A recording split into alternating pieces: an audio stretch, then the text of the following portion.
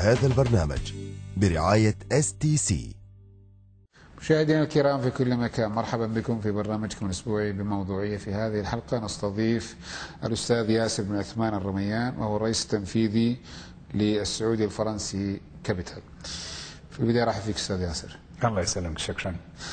في البداية خلينا نتكلم على شركات الاستثمار يعني إحنا نعرف شركات الاستثمار انها تستثمر في كثير من الصناعات أو الخدمات والى آخره. لكن هذا النوع من الاستثمار اللي يتعلق بأسواق المال أو في الصناديق أو في الأسهم أو غيرها. ودي تتكلم عن شركات الاستثمار غرضها دخولها في السوق السعودي كيف تشوفها؟ يعني شركات الاستثمار في السوق السعودي آه، مبدئيا جديدة آه، بدأت مع آه، هيئة مع نظام السوق المالية اللي هو صدر في عام 2003 وهيئه السوق المالية يعني تاسست عام 2004 فمع مع صدور النظام ووجود هيئة السوق المالية بدأ الترخيص لعمل شركات الاستثمارية. الشركات الاستثمارية يعني لها خمسه مجالات أساسية تشتغل فيها. اللي هي ال ال الوساطة إدارة المحافظ الصناديق الاستثمارية وال depository الإدراج؟ ال depository اللي هي الحفظ okay. يعني كأمين حفظ يكونوا. بالإضافة لل corporate finance activities اللي هي أعمال تمويل الشركات. okay. والنشاط الخامس اللي هو نشاط التقارير أو إعطاء المشوره okay. طبعا معظم الشركات بدأت يعني ظاهر أول ترخيص أعطي في عام 2004 في نهاية عام 2004 أو في بداية العام 2005 وبعدها بدأت معظم البنوك التجارية السعودية ترخص أو تسوي ال spin off أو تطلع من عندها النشاط الاستثماري وخلته كشركات مستقلة. بعدها دخل يعني عدد من من الشركات الاستثمارية اللي هي العالمية. وشركات استثمارية محلية جديدة كلها قائمه وبالإضافة للشركات اللي تكون ريجنال أو جاية من المنطقة من الكويت أو الإمارات أو من بعض الدول العربية من مصر أو لبنان. وطبعا في عندنا الشركات اللي هي حقت البنوك فالنشاطات حقتها طبعا مختلفة زي ما قلت قبل إنه في عندها خمس نشاطات مختلفة. هل كل الأعمال هذه تمارس الآن ولا في بعضها وبعضها؟ يعني تقريبا كلها موجودة، يعني هو يمكن الرخصة الوحيدة اللي غير مفعله بشكل كبير زي الأسواق العالمية اللي هي أمين الحفظ. مم. أمين الحفظ موجود الآن كخدمة مجانية إيش مقصود فيها هذا؟ أمين الحفظ اللي هي الآن لما تجي على السوق المالية السعودية أو تداول تداول في عندها depository center أو مركز الإيداع. مركز الإيداع يودع كل الشهادات حقت الشركات المدرجة. وحتى في بعض الأحيان غير المدرجة. نعم. هذا في تداول هذا في في تداول. okay. فتداول عنده مركز الإيداع. فمركز الإيداع حق تداول ما عنده هو يعني شهادات ملموسة أو ورقية. بالمحافظ. كلها dematerialized يسمونها أو شهادات يعني كلها إلكترونية. كلها عبارة عن أرقام وارقام الشهادات وهذه. فبعدها يجي أمين الحفظ اللي هو الشركات اللي زينا. أمين الحفظ هذا بيكون محفظة العميل عنده ومقابل لها المحفظة الأساسية موجودة عند عند مركز الايداع، يعني تقدر تقول كمثل لها زي الفلوس اللي موجودة عند البنوك التجارية والبنوك التجارية تودع عند البنك المركزي اللي هي مؤسسة النقد. فمركز مؤسسة النقد اللي هي مركز الايداع والبنوك التجارية اللي هي امين الحفظ. طيب يعني أنت إيش رأيك الآن في دور شركات الاستثمار؟ هل تشوف الآن هي فعلا دخلت السوق، صار لها وجود، صار لها تأثير، صار الناس يثقون فيها، يعطونهم أموالهم، يستثمرونها، يعني هل الناس يعني حاسين بوجودها؟ وأنتم حاسين انكم وصلتوا للعملاء حقيقة؟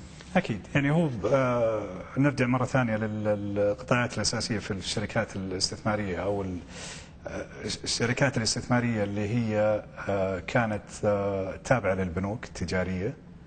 آه، هذا أخذوا أو ورثوا المستثمرين من من البنوك التجارية. فهذول تقريبا هم يكونوا آه، يعني أسهل آه، ممارسة لهم لعملهم الاستثماري. فنفس العملاء كانوا موجودين هنا انتقلوا إلى الشركات الجديدة اللي هي مرخصة عن طريق هيئة السوق المالية. لما تيجي على العملاء في أنواع من العملاء. في اللي هم ال- ال- العملاء اللي هم ال retail أو الأفراد.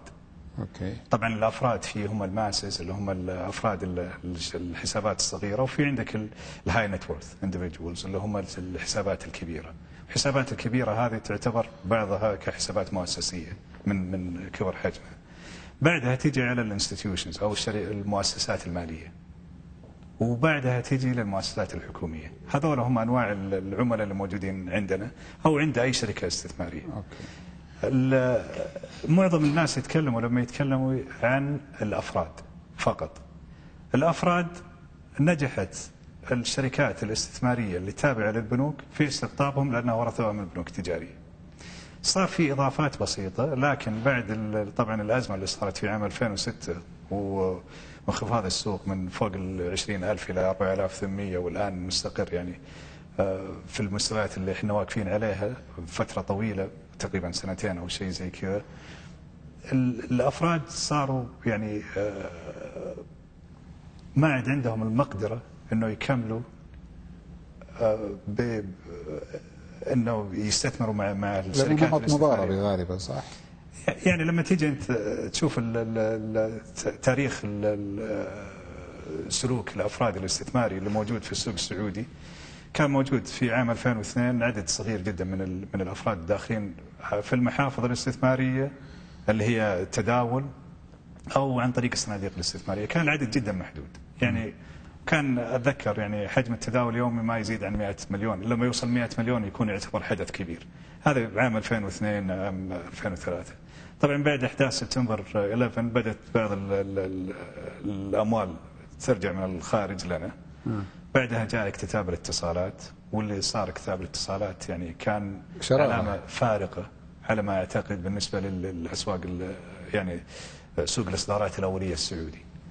صار في الاولوكيشن أو توزيع الأسهم للناس المستثمرين كان جدا ممتاز على ما أعتقد كان 30% من ال- ال- الأشياء اللي طلبتها. ففي ناس كثيرين سووا ثروات جدا مهولة. فبدا بعدها جاء كتاب الصحراء يتذكر في 2004 فبدا العالم يزيد ال- صار عامل جذب. عامل جذب وبدأوا يدخلوا لل- للسوق. لما جينا في عام 2004 بدأ السوق يعني يتدبل يوم عن يوم.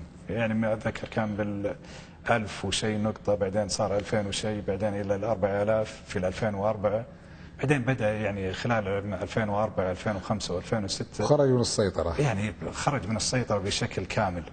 يعني إلى أن وصل إلى إلى مستويات. يعني كنا نشوف بعض الشركات آه، ما عندها نشاط. عمل أساسي ومع ذلك تلاقي وصلت ما أر- أرقام فلكية. مكررات الأرباح حقتها وصلت إلى أرقام فلكية. بالآلاف. ب- يعني بالآلاف يعني بالضبط اللي صار عندنا في عام من 2004 إلى 2006 زي اللي صار في السوق الأمريكي. إذا تتذكر في نهاية التسعينات تقريبا عام 98 إلى عام 2000 أتذكر عام 99 في خلال ثلاثة أشهر دبل النازداك النازداك طلع من يعني من إذا ما كنت غلطان من من 2500 إلى وصل في في فبراير مارس عام 2000 وصل إلى حوالي 5200 intraday دبل. خلال سبعة أشهر أو شيء زي كذا. وبعدها نزل وإلى الآن نازل.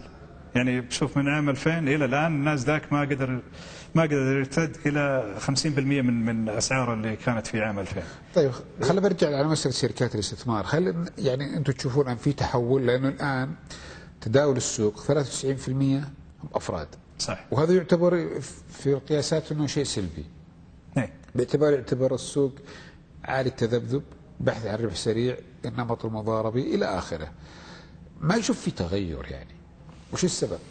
ولما تيجي أنت تناظر على رغم مرور أربع سنوات يمكن الحين أو خمس سنوات. صحيح صحيح. يعني هو بالفعل لما تقول أفراد لكن لما تيجي تناظر من هم الأفراد ما هم كلهم الماسز ما هم صغار المضاربين. أكثرهم تلاقيهم من كبار المضاربين. الشيء الثاني طبعا السوق دائما يحتاج لل- لل- لتداول. لما يكون في تداول أكبر يكون في سيولة أكبر. فشيء جدا ممتاز أنا بنظري إنه يكون في تداول كبير.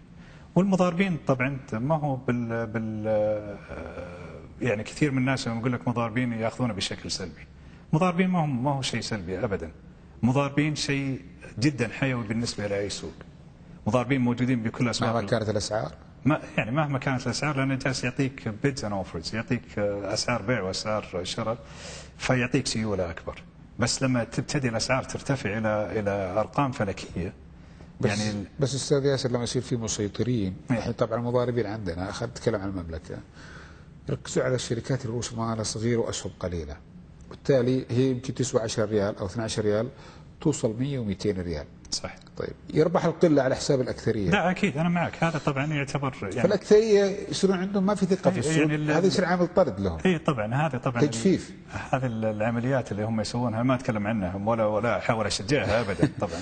عشان بس نوضح للمشاهد. إيه لا هذه العمليات أنا ما أحاول أشجعها ابدا. على العكس هذه تعتبر يعني ديسبشن أو يعني آه، التلاعب في الأسعار أكثر منها مضاربة. أنا أتكلم عن المضاربه اللي هي البيع والشراء على حسب الأخبار يعني. اليومية على حسب أخبار الشركات على حسب ال- الأشياء اللي تصير يوميا. أوكي. ما هو أتكلم عن تجميع على سعر إيه. وبعدين يوصلها إلى سعر ثاني ويجلسوا مع بعض يعني مجموعات وبعدين يبتدوا لما يدخل الناس يبتدوا هم يبيعوا بأسعار أعلى يعني إحنا شفنا ال patterns هذه أو كيف الناس يبتدوا يجمعوا أو بعض المجموعات طبعا هذه تعتبر مخالفة حتى لنظام السوق المالية لما يقدروا يكتشفوا وصدرت عقوبات وصدرت عقوبات بالفعل يعني في ال- في- مع اعوام ظهر 2007 و2008 و9 وإلى الآن جالس تصدر عقوبات. فطبعا هذه ما احد آه، يعني يحاول طيب عشان نركز على المضاربة المضاربة تعتبر عامل جذب للسوق صح؟ طبعا. طيب المضاربة وين النطاق اللي يكون فيها مقبول وإنه يكون هو عامل جذب؟ يعني كيف نقدر نحدده؟ يعني هو السيولة. هي يعني المضاربة هي اللي تولد السيولة. السيولة هي عامل الجذب. لما يجي اي أي مدير آه، استثماري لأي سوق خاصة الأسواق الناشئة أول شيء يناظره وش الفوليومز وش التداولات اليومية. يوم أنا أشتري مثلا آه، يعني ب- نسب من شركات كبيرة متى أقدر أطلع منها؟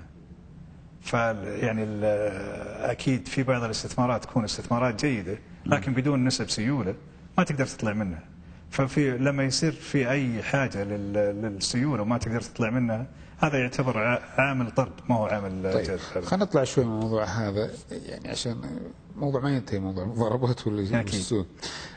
طيب كيف أقدر أقيم أنا أداء شركات الاستثمار؟ أنا مثلا كعميل أبغى أبحث عن شركة استثمار أضع فيها أموالي. وش المعايير اللي أنا أضعها علشان أقول هذه الشركة ممكن تحقق اهدافي؟ أكيد. يعني آه، نرجع مرة ثانية لتقسيم من هو العميل اولا. هل هو من الأفراد ال- اللي بيبغون يستثمرون على المدى الطويل؟ هل يبغى هل يبغى يدخل في سوق الأسهم؟ هل يبغى يدخل في الصناديق الاستثمارية؟ ما تعطون أنتم ال advice يعني؟ إلا طبعا. إحنا عندنا يعني بالنسبة لنا السعودي فرنسي كابيتال يعني سوينا تقسيم جديد خلال السنة هذه طبعا السعودي فرنسي كابيتال هو إذا تسمح لي بس أعطي فكرة عنه يعني السنة هذه اندمجنا ثلاثة شركات اللي هي كاليون سعودي فرنسي اللي هي إدارة الصناديق واسف اللي هي لل- لل- لل corporate finance أو تمويل الشركات وكام سعودي فرنسي اللي هي إدارة الصناديق الاستثمارية وفرنسي التداول. اندمجت الثلاثه شركات. ببعد توجيهات من هيئه السوق المالية تحت مسمى السعودي فرنسي كابيتال ورفعنا راس المال من 250 إلى 500 مليون والآن تقريبا بيطلع لنا السجل التجاري في أي يوم. آه، الآن إحنا عندنا آه، آه، إدارة اللي هي ال wealth management أو إدارة الثروات؟ إدارة الثروات تحت اسم فرنسي ثروات ال wealth management هذا عندنا تقريبا ثلث عدد موظفينا